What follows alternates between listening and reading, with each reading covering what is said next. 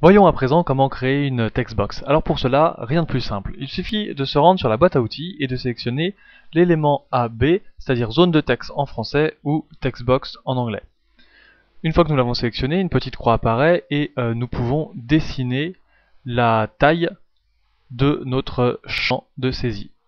Une fois que nous sommes fixés, nous pouvons lâcher et cela crée la textbox. Comme vous pouvez le voir, lorsque, lorsque ce petit logo apparaît, la petite croix avec les flèches, nous pouvons déplacer notre textbox et la placer où nous souhaitons dans notre formulaire.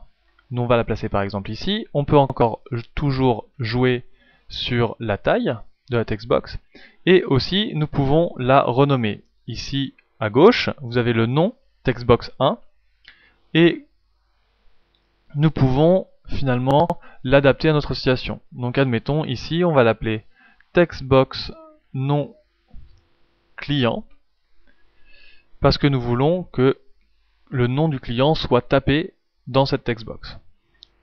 Pour le faire comprendre à l'utilisateur, soit nous utilisons le petit liseré ici et donc le caption du formulaire, soit nous avons l'autre option de sélectionner dans la boîte outils l'outil intitulé, matérialisé par la lettre A, et de dessiner pareil une zone de texte.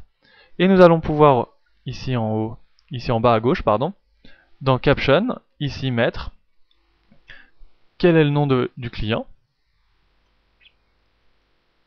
Et visualiser cette question directement sur le formulaire au-dessus de la textbox.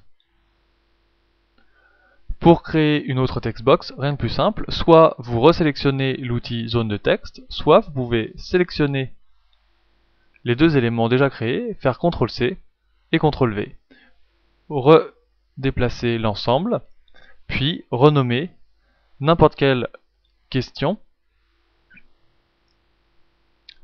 label, et le textbox ici apparaît aussi.